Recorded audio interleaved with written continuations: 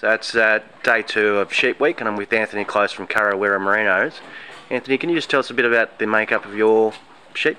Uh, so we're about an 18 micron uh, flock, about a 60 kilo standard reference weight ewe. Um, we've got about 6,000 uh, ewes that we lamb down to half to a to a terminal lamb and half to a back to a merino self-replacing flock. Um, and we also have about a thousand cows on as well with a stud cattle operation. And these um, sheep we're looking at here?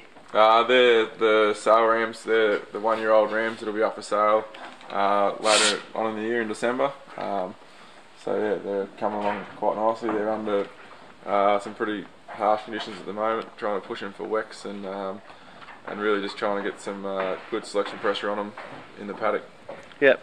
And some of the key drivers for your your breeding. So Uh, well, we're really chasing some early growth um, at the moment, um, as well as you know, we pride ourselves on our wool quality and and being able to cut a good amount of wool. Um, but obviously the lamb side of it's important now, where we're starting to uh, take some birth weights and that on all our stud ewes, as well as maternal instinct on our on our ewes on flight and um, how good of mothers they are, because we want as many lambs as we can, um, as well as get lambing ease and those sort of traits that we're going to be taking right at the point of birth.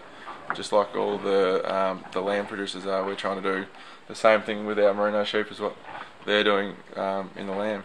Yep. And for those that haven't been to this part of the world, where where's the property based and sort of made up of? Um, so we're based about 10 k's out of Harrow, um, which is in the right at the north of the Western Districts. Um, we're only just off the Glenelg River, so we're if you go half an hour north, you're into sort of the the Wimmera and the cropping.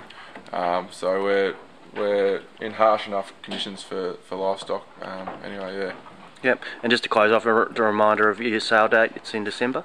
Uh, yep, so we're on the first Friday in December um, up here at Kurra Wirra. Um, it'll be good to have some uh, as many people along as we can. We'll also have a tent at Sheepvention. Um, so if you're popping there, we'll have a pen of five uh, as well there for sale. So come and say good day. Yeah. Thanks, mate. Thanks for being involved in Sheep Week. No worries, thanks very much.